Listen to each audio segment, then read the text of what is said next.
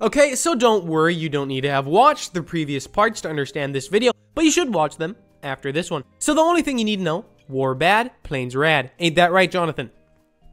So our first contender, a very requested plane, the A-10 Thunderbolt II, are also known as the A-10 Warthog, are just hog, are...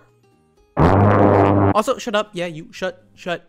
I know it's not a fighter jet, but I'm gonna go ahead and take the liberty to talk about non-fighter jets in this series. So this thing is basically a tank with wings. What does that mean though? Well, it was built to be a close air support plane, meaning it would get down and dirty into the front lines, helping the troops on the ground.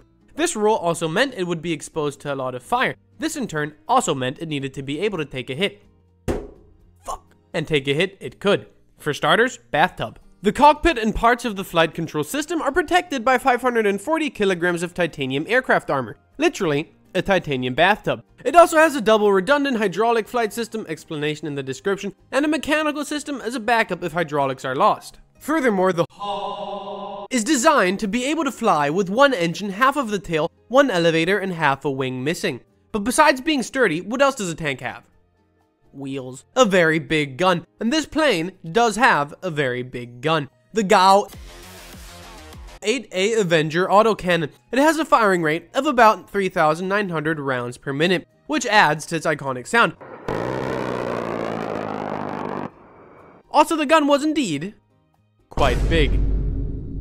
So next for our first Soviet jet, the Su-27 Flanker. So the Flanker, like many other jets in this series, was designed for air superiority. It was super maneuverable, as was often demonstrated on air shows when it did the Cobra maneuver. And at the time, the Soviets said it was the only aircraft capable of such a maneuver. The fuck you say? Yeah, you can't do that. You wanna go? Yeah, come on, let's go, big boy. Yeah, I'm coming.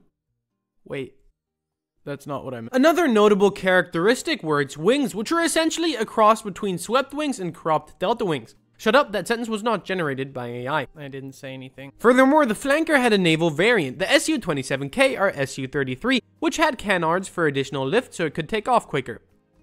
And is it just me or do canards kind of make a plane look a little bit more like a fish? So our next jet is the famed Su-57 Felon. So this jet is Russia's first stealth aircraft and it was built to compete with the F-22 and the F-35, meaning it has radar absorbent materials and internal weapons bay in a certain shape in order to reduce its radar cross-section. Although it does all of these things, except for maybe the internal weapons bay, a lot worse than its competition. What the fuck? What? Are those? Visible screws? But what it does have, which the other two don't, is thrust vectoring on all three axes, so pitch, yaw, and roll. This also makes it super maneuverable on all of these axes. Also, the Su-57 can supercruise, meaning travel at supersonic speeds without afterburner, at around Mach 2. Now, all of this would be pretty nice, except for the screws, if Russia would be able to make more than 10 of them. Although, let's cut them some slack, some might even say it's the stealthiest jet there has ever been, because no one has ever seen it operate before. No, but all jokes aside, from an engineering standpoint, it is indeed a truly impressive machine. Subscribe and leave a like if you want to, nobody is forcing you. Also, as I announced in my last video, I have created a Discord server and a Twitter account for you guys to stay updated and to connect with each other, and to see the beautiful picture of my dog that I posted on Twitter. So yeah, I hope you find that it was time spent well watching my video, and leave a comment, I really do read them, and yeah, okay, see you in the next one.